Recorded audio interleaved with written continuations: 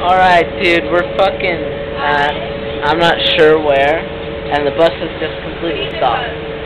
Look outside. We're, we're not moving. Look, not moving. Ground, still. Cars moving around us, but we're not moving. Sarah, why aren't we moving? What?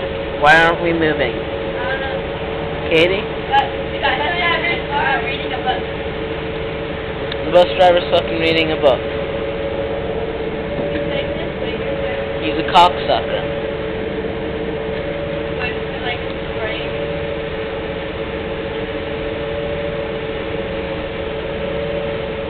I don't think bus drivers should have brains.